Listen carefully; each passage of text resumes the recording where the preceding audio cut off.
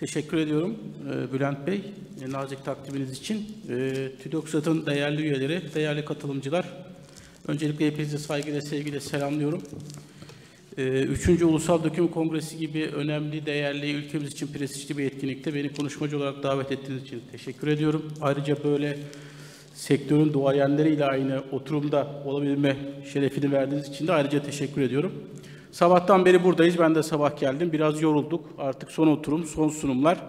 Mümkün olduğu kadar hızlı bir şekilde ana bir mesaj vermeye çalışacağım. Savunma sanayinde trendler neler, e, biz neler yapıyoruz, neler yapılmalı kendimizce, e, ülkemiz için, döküm sanayisi için neler yapılabilir bunları kısaca değinmeye çalışacağım. Zamanı bayağı etkin bir şekilde kullanmak için e, elimden geleni yapacağım. Çok hızlı bir şekilde FNS'i tanıtmak gerekirse FNSS %51 Neural Holding, %49 BAE Systems'ın bir ortak iştiraki. BAE Systems bildiğiniz gibi dünyadaki zaten en büyük savunma sanayi şirketlerinden biri. Bizim ana yerleşkemiz e, ve üretim binamız Ankara Gölbaşı'nda 817 çalışanımız var mevcut durumda.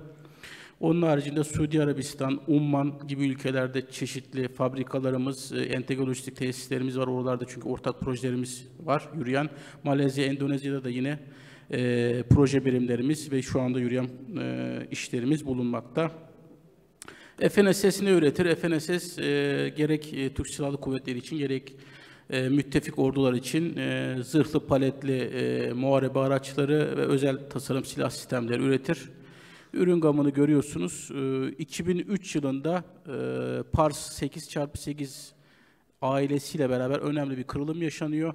2003 yılına kadar FNSS lisans altında üretim yaparken 2003 yılından itibaren Malezya projemizle beraber kendi özgün tasarımlarını yapıp e, satmaya başlıyor. Tabii bu özgün tasarımları yaparsanız e, Malezya projemizde olduğu gibi artık teknoloji transferiyle biz eskiden teknoloji transferi satın alırdık. Artık teknoloji transferini satıyoruz. O aracın lisans bedelinin de e, proje bütçesine koyup e, onun da satma imkanımız olabiliyor.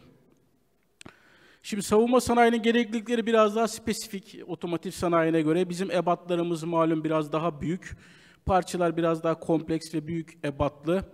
Ee, bazen bu büyük ebat üretim yöntemini de belirliyor. Yani örnek vermek gerekirse bir otomotiv sanayide bir crank milli hani dövme yöntemiyle de üretmek isteyebilirsiniz. Hani döküm biraz daha belki e, riskli bulunabilir. Ama bir tank motoruna gittiğiniz zaman ebat o kadar büyüyor ki artık dövemiyorsunuz.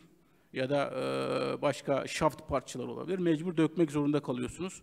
O yüzden e, döküm savunma sanayi için önemli bir her zaman imalat yöntemi olacak, olmaya devam ediyor. Tabii isterlerimiz yüksek mekanik performans, güvenilirlik isterleri yüksek, arıza, kırılma, dökülme gibi şeyler istenmiyor. Ya kullanıcı açısından normal e, işte otomotiv sanayinde normal bizler de bir otomotiv kullanıcısıyız. Tabii ki yolda kalmak istemiyoruz ama askeri gereklilikleri düşünürseniz bir aracın bir e, yani savaş anında e, görev dışı kalması demek açık hedef olması demek. Onun içinde kritik personelin, kritik komutan olması demek. O savaşın kaybedilme ihtimali demek ve benzeri ve benzeri gibi bakış açısıyla e, performans ve güvenlik kriteri çok daha önemli. Harbi hazırlık oranı zaten bütün ordular için çok önemli bir kriter.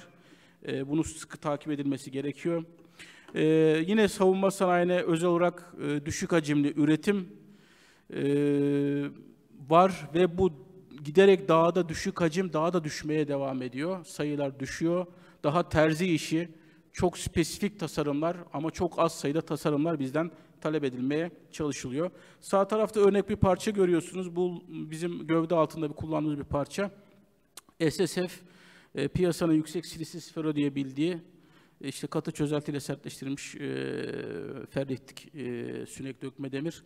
Bunu biz 3-4 yıl önce Ankara'da e, döktük e, bir yan sanayimizde. Türkiye'de görece öncül uygulamalardan biriydi. Bu parça Umman projesinde kullanıldı. Araçlar 2 yıldır Umman'da.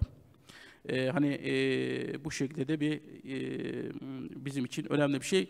Üreten firma da ihracatını yapmaya başladı bu arada. O da güzel bir şey oldu. Ufak bir bizim e, sanayiye katkımız oldu. Süspansiyon kolu, braketler, gördüğünüz gibi ebatlar yüksek. O yüzden hani bu gereklilikler göz önüne alındığı zaman e, döküm bizim için önemli bir üretim yöntemidir. Pek e, vazgeçilecek gibi bir durum söz konusu değil. Savunma sanayine özel olarak bazı parçalarımızda balistik istihalar olabiliyor. Hani döküm sanayine biraz daha e, uzak olabiliyor. Ee, sol tarafta rotor parçasını görüyorsunuz. Namluyu çeviren parça. Sağ tarafta gun mount, silahı tutan o uçtaki parça. Şu parça. Bu tabi direkt balistik tehditlere maruz kaldığı için bu e, parçalar üzerinde daha spesifik mekanik özellikler, e, döküm sanayinin alışkın olduğu akma mukavemeti, kopma mukavemeti uzamanın yanında bazı balistik koruma seviyelerinde sağlanması gerekiyor. E, malzemenin tokluk ve balistik dayanımı arasında bir ilişki var ama son derece lineer bir ilişki yok. Hani tokluğu iyileştirirsek balistik dayanım iyileşir gibi bir durum her zaman çalışmıyor. Burada daha spesifik e, know-how bilgileri ve benzeri şeyler gerekebiliyor. Bu konularda çalışıyoruz yan sanayimizde döküm firmalarıyla. Onların da bu konudaki yetkinliklerini geliştirmeye çalışıyoruz. Örnek yaptığımız bir çalışmadan işte bir e, dökme demir diyelim e, ama balistik testlere soktuk. Balistik test plakaları. Sağ tarafta fraktografi görüntülerini görüyorsunuz. Merminin vurduğu yerden inceleme yaptık.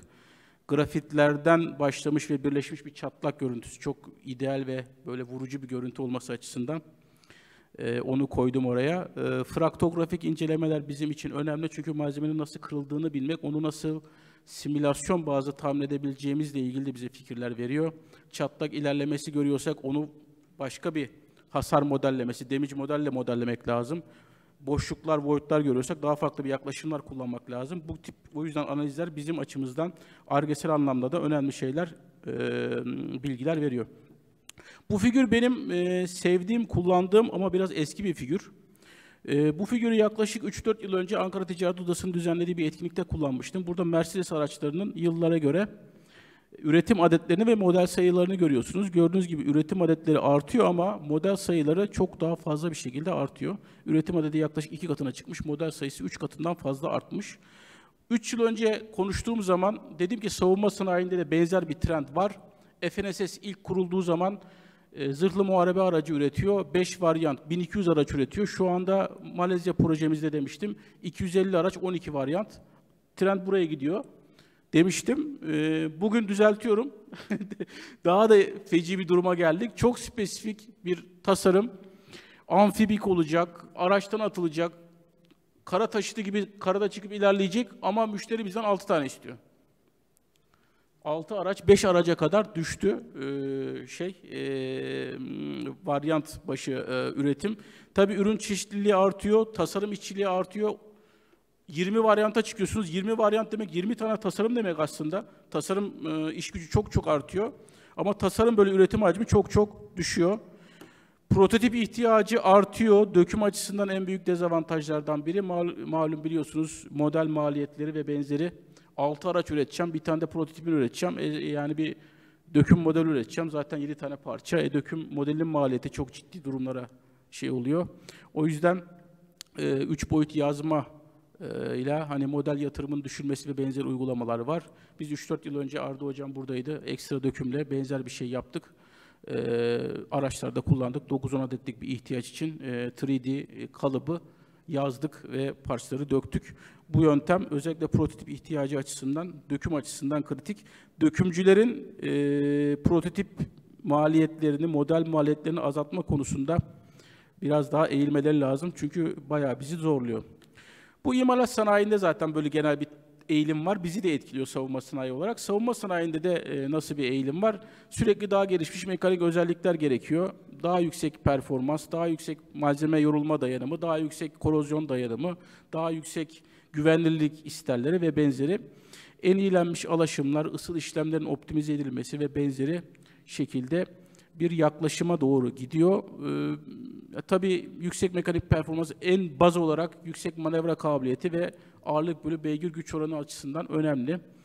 Ee, bu ağırlık e, bölü beygir gücü e, zırhlı muharebe araçlarındaki en temel e, kriterlerden biridir. Müşterinin de bunu baktığı bir kriterdir.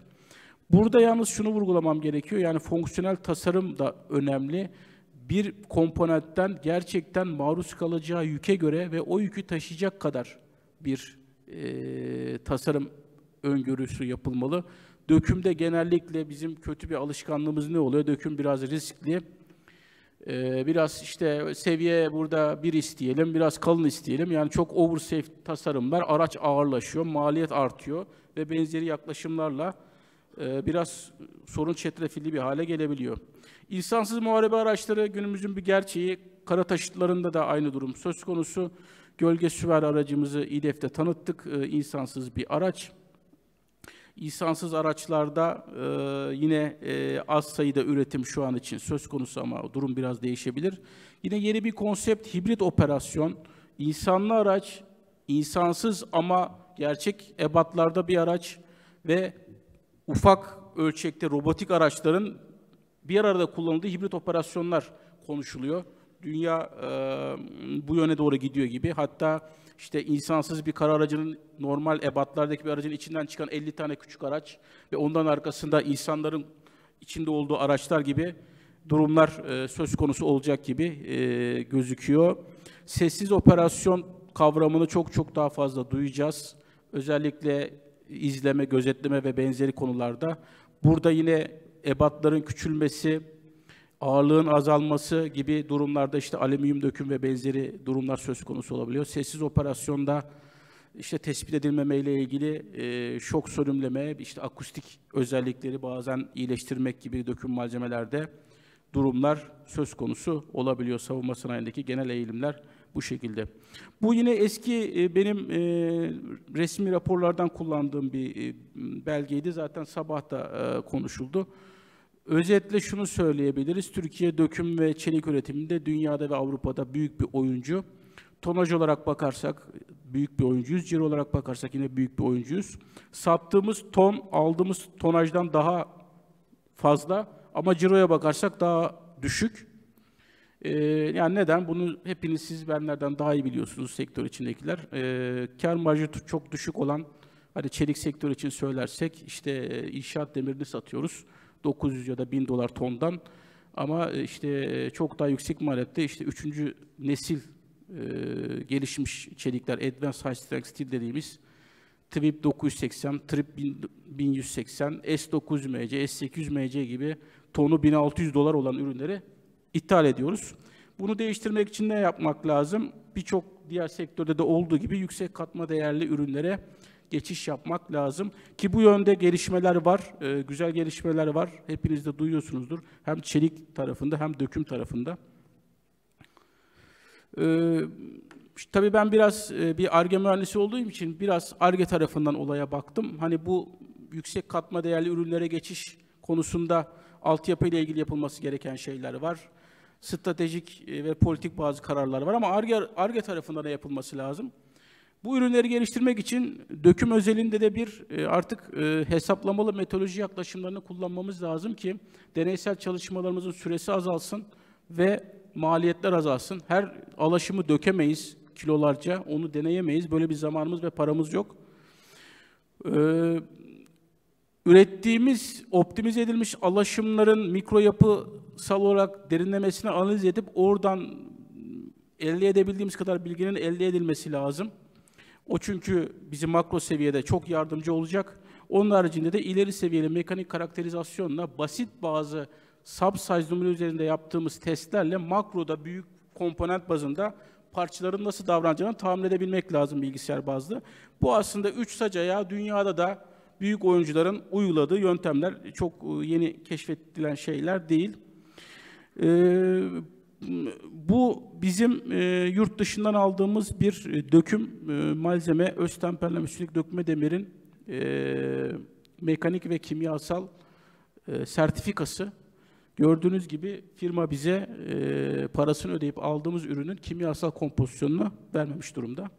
Bunu şeyden koyuyorum, e, sanki böyle biraz e, malzeme ve metodoloji dünyasında biraz kötü bir algı var. Ya döküm malzemeler bitti, artık hani nano malzemeler var, biocompatible malzemeler var. Tabii onlar da var, oradan araştırma lazım ama dökme demirde de hala yapılması gereken işler var. Dökme demir de her şey çözüme ulaştırabilmiş değil. Ee, bu Armox 500 bir zırh çeliği. Size desem ki zırh çeliği mi daha kritik? Dökme demir mi daha Zırh çeliği dersiniz. Zırh çeliğinin kimyasal kompozisyonu Google'dan ulaşabiliyorsunuz. Aşağıdaki grafik. Ama bu dökme demire parasını ödemeniz, ödediğiniz halde size vermiyorlar. Biz de çıkardık reçeteyi. iki tane iç ARGE projesi, TÜBİTAK projeleriyle artık ihtiyacımız yok. Şimdi hesaplamalı metodoloji yaklaşımları FNSS'te çok fazla kullanıyoruz ve çok fazla işimizi aslında kolaylaştırıyor. Bu yine örnek bir çalışma. E, bu arada hani bu çalışmaları e, gösteriyorum size. Bunların bir kısmı benim bilgisayarımda. E, bir kısmı FNSS'de yapılmış çalışmalar. E, ama yani şu değil, biz bunu yaptık, FNSS bunu yaptı değil. Biz, bizim içinde bulunduğumuz ekosistem, üniversiteler, yan sanayimizle beraber bütün bu çalışmalar yapıldı. Yani Türkiye'nin bir e, kapasitesini göstermek anlamında lütfen değerlendirin. Beş farklı e, dökme demire öz temperleme ısıl işlemi yaptık. E, bunların detaylı mikro yapılarını çıkardık, analizlerini çıkardık. E, artık e, termokalk yazılımında o alaşımda yüzde kaç hacimde grafit oranı çıkacak, e, ferrit oranı, kalıntı özsenit oranı ısı işlemden sonra ne olacak bunları tahmin edebiliyoruz. E, yukarıda gördüğünüz termokalk calculations bölümündekiler bizim simülasyon sonuçları, alttakiler deneysel datalar gayet iyi bir şekilde makul hatalarla oturtabildiğimizi görüyorsunuz. 4 ile 5'te sapma çıktı. E, dedik ne oluyor yani e, kalıntı özsenti çok kötü tahmin etmişiz. E, sonra biraz daha detay araştırınca tabii termokalk denge durumunu araştırdığı için öz temperleme işlemini biraz erken kestiğimiz o da aslında kalıntı özsentin karbona doymaması ve oda sıcaklığında kararlı kalmamasına yol açabiliyor. Onunla ilgili de bize fikir verdi. Öz temperleme ısı işimizdeki hatamızı düzeltti. Denge durumunda da gördüğünüz gibi aslında 21-17, 25-96 olması lazım. Orada da gayet iyi bir şekilde oturtturduk. Yani artık bilgisayar başına oturarak bazı alaşımları hesaplayabiliriz, ısıl işlemleri hesaplayabiliriz. Bunları döküp ısıl işlemini yapıp milyon TL'ler harcamaya gerek yok. İyi sonuçlar çıkıyor gibi gözüküyor. Benzer bir yaklaşımla e, mekanik özellikleri tahmin edebilir miyiz diye baktığımız zaman yine e, bir e, öz temperleme ısıl işleminde e, belli bir ısıl işlem parametresi uygularsak tanecik boyutunun çok çok ufalıldığını ve mukavemetinin inanılmaz e, iyileştiğini gördük. Bunlar deneysel sonuçlardır. Bir dökme demirde 1700 megapascal bir çekme mukavemeti, sürekli çok düşse de elde edilmiş oldu. Bir dökme demir için ilginç değerler. Bu da e, sonuç e, yine bilgisayar e, bazı yaptığımız çalışmalarda bir ısıl işlemin daha kaba bir tanecik yapısı, bir ısıl işlemin daha ince bir tanecik yapısı oluşturacağını bilgisayar simülasyonları bize söyledi. Sol tarafta kaba tanecikli yapı, sağ tarafta ince tanecikli yapı, 10 bir büyütme.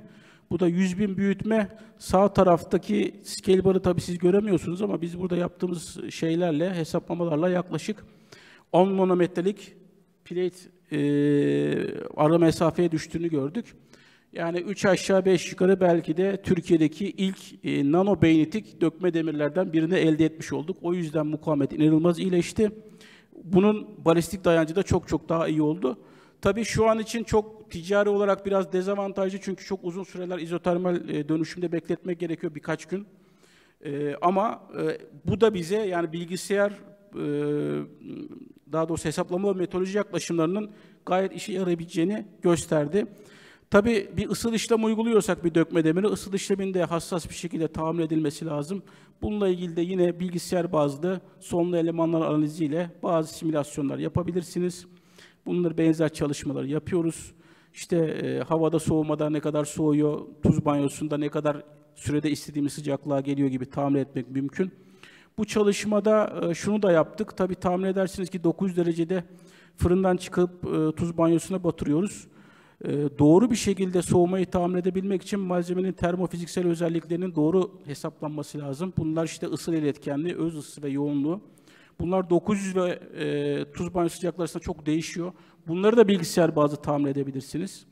Bunları da e, temperature'a bağımlı öz ısı, yoğunluk ve ısı etkenlik değerleri kullanarak çok daha hassas bir şekilde hesaplayabildik ve mesela işte öz temperlemede olduğu gibi perlit burnunu kesiyor muyuz, kesmiyor muyuz tahmin edebildik. Sağ taraftaki kırmızı ve mavi bilgisayar bazlı faz dönüşümü tahminleri, sol taraftaki sonlu elemanlar analizi bazlı soğuma grafiği de perliti oluşturmadığımızı ya da eğer oluştursaydık ne kadar bir alaşımla sağ TTT'yi sağa kaydırmamız gerektiğini tahmin edebilecektik.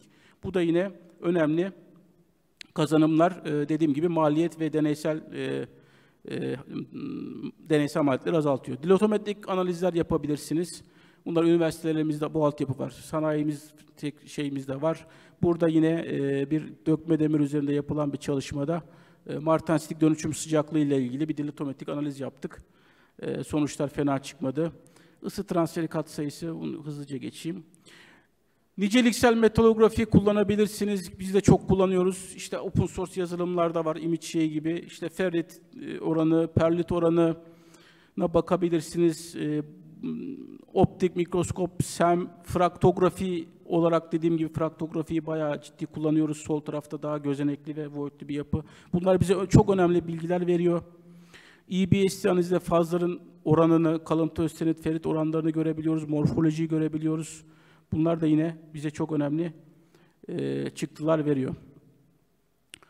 E, niceliksel metalografi e, çalışmaları da önemli. E, genelde çünkü büyük ebatlı dökümlerde e, yani çok küçük bir bölgeye bakıp küreselleşme iyi kötü demek e, yanıltabiliyor. Daha büyük bir alanda motorize bir e, mikroskop sistemiyle. Bunun artık motorize mikroskop sisteminin donanım ve yazılımı da var Türkiye'de. Bizim de öncülük etmemizde biraz oluşturuldu.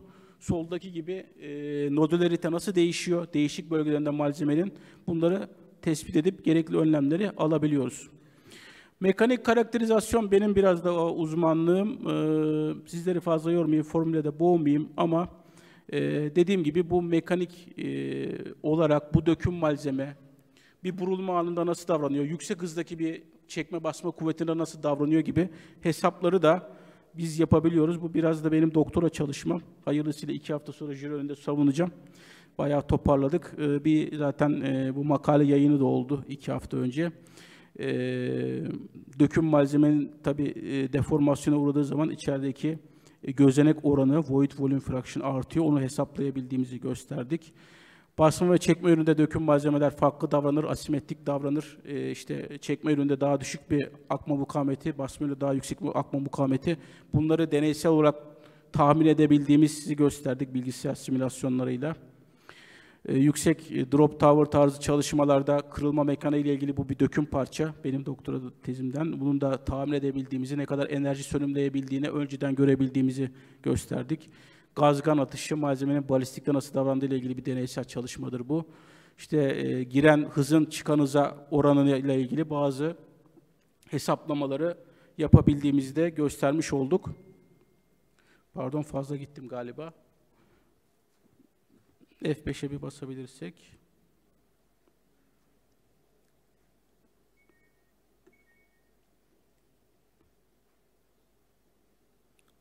Şöyle yapayım. Dediğim gibi hesaplamalı metodoloji yaklaşımları, ileri seviyeli mikro yapı analizleri, ileri seviyeli mekanik karakterizasyonlar bunlar Türkiye'de yapılabiliyor. Üniversitelerimizde ciddi altyapı var, teknik altyapı, insan altyapısı var. Savunma sanayimizde, imalat sanayimizde, döküm sanayimizde bu altyapı var. Ee, bunları bir araya getirip etkin bir işbirliğiyle çok daha ileri seviyede işler yapabiliriz. Yüksek katma değerli ürünler üretebiliriz gibi gözüküyor. Bence burada hiçbir mani yok. Biraz çalışmak ve etkin bir işbirliği lazım. Beni dinlediğiniz için, e, sabrınız için teşekkür ediyorum. Sorularınız varsa seve seve cevaplamak isterim. Teşekkürler, sağ olun.